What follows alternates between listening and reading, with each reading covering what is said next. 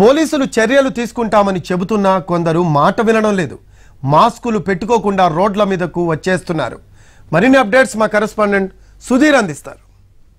హైదరాబాద్లో కరోనా కేసులు పెరుగుతున్నాయి. రోజు రోజుకు దాదాపు ఐదు వందలకు పైగా కూడా పాజిటివ్ కేసులు నమోదవుతున్నాయి. ఈ నేపథ్యంలో హైదరాబాద్లో కావచ్చు రాష్ట్రం కావచ్చు ఎక్కడ చూసినా కానీ ప్రజల్లో ఎక్కడ భయం ఉన్నట్టుగా అయితే కనిపించట్లేదు. ప్రతి ఒక్క ప్రతి ఒక్కరు ఖచ్చితంగా మాస్క్ ధరించాలని చెప్పేసి తెలంగాణ ప్రభుత్వం ఆదేశాలు జారీ చేసింది. ఒకవైపు తెలంగాణ పోలీసులు కావచ్చు జిహెచ్ఎంసీ అధికారులు కావచ్చు ఇతర డిజాస్టర్ మేనేజ్మెంట్ కూడా పూర్తి స్థాయిలో ఎవరైతే మాస్కులు ధరించట్లేదో వారందరినీ గుర్తించే పనిలో అయితే నిమగ్నమైంది. మనం ఒకసారి చూసుకోవచ్చు సో, హైదరాబాద్ బేగం బజార్లో ఉన్నాం. బేగం బజార్లో పరిస్థితి ఏ విధంగా ఉందో చూడొచ్చు.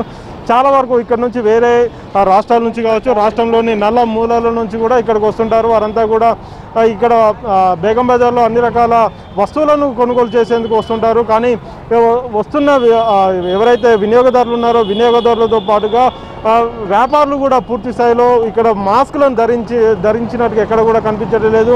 వస్తున్న ప్రజలతో పాటుగా వ్యాపారులు కూడా ఇక్కడ మాస్కులు ధరించట్లేదని చెప్పేసి ఇప్పటికే పోలీసులు గుర్తించారు. ఇందుకు సంబంధించి ఉదయం నుంచి కూడా పోలీసులు ప్రత్యేక డ్రైవ్ కూడా నిర్వహిస్తున్న పరిస్థితి అయితే కనిపిస్తుంది. చూస్తున్నాము వాళ్ళు చెప్తున్న సమాధానాలు ఎలా ఉన్నాయి? మాస్క్ ఎందుకు ధరించట్లేదు అంటే గాలి ఆడటం లేదని చెప్పేసి మరికొంతమంది ఏమో ఇప్పుడే తీసేసానని చెప్పేసి ఇలా చెప్తున్న పరిస్థితి అయితే కనిపిస్తుంది. ఎందుకంటే మాస్క్ ధరించకపోతే ఆ ఒక్కరికే కాదు వారి వల్ల కనీసం పది మందికి ఎఫెక్ట్ అయ్యే అవకాశం ఉంది. ఎందుకంటే ఆ, కరోనా వైరస్ సోకింది లేనిది ఆ విషయం తెలియాలంటే చాలా వరకు చూ చూడొచ్చు.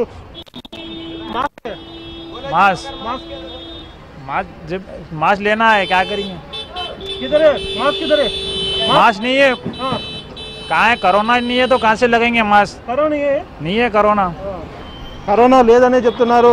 ఇలా ఎవరికి వారు నిర్లక్ష్యం వహిస్తుండడంతో పూర్తిగా హైదరాబాద్లో ఎక్కడ చూసినా కానీ మాస్క్ లేకుండానే తిరుగుతున్నారు. వీరందరి మీద కఠిన చర్యలు తీసుకోవాలని చెప్పేసి ఇప్పటికే అధికారులు భావిస్తున్నారు. వీళ్ళకి సంబంధించి ఎవరైతే షాప్లలో షాపులలో కావచ్చు లేకపోతే ఇతర ప్రాంతాల్లో మాస్క్ లేకుండా తిరుగుతారో వారందరికీ వారందరినీ గుర్తించే పనిలో పోలీస్ శాఖ ఉంది. వారికి సంబంధించిన ఫోటోలను తీసి అవన్నీ కూడా కోర్టుకు సమర్పించాలని చెప్పేసి భావిస్తుంది. కోర్టు సూచనల మేరకు తదుపరి ఎలా నిర్ణయం తీసుకోవాలనేది కూడా చూ- చూడొచ్చు. అయితే ముఖ్యంగా ఈ రద్దీ ఉండే ప్రాంతాలు ఏవైతే ఉన్నాయో హైదరాబాద్లో సికింద్రాబాద్ కావచ్చు హైదరాబాద్ కావచ్చు అదేవిధంగా జంట నగరాలుగా ఉంటున్న హైదరాబాద్ సికింద్రాబాద్తో పాటుగా ఇతర ప్రాంతాల్లో కూడా పూర్తి స్థాయిలో మాస్కులు లేకుండానే చాలామంది వందలాది మంది మాస్క్ లేకుండానే కనిపిస్తున్నారు. మనం చూస్తున్నాం ప్రతి షాప్లో కూడా మాస్క్ లేకుండానే ఉన్నారు. షాప్కు వెళ్తున్న వారు అలానే ఉన్నారు. షాప్లో ఉన్న వాళ్ళు అలానే ఉన్నారు. షాపు యజమానులు కూడా అంతే నిర్లక్ష్యం వహిస్తున్నారు. ఎక్కడ కూడా శానిటైజర్ అందుబాటులో లేదు. అదేవిధంగా మాస్క్ అందుబాటులో లేదు. గ్లౌజెస్ కూడా అందుబాటులో లేవని కూడా స్పష్టంగా అర్థమవుతుంది.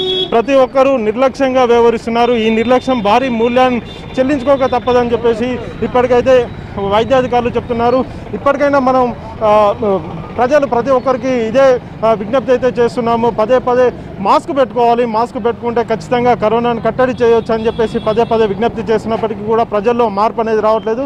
ఈ మార్పు రావాలంటే ఖచ్చితంగా పోలీసులు కఠిన చర్యలు తీసుకోవాల్సిన అవసరం ఎంతైనా ఉంది. కెమెరామెన్ రాజ్ కుమార్తో సుధీర్ ఎన్టీవీ బేగం బజార్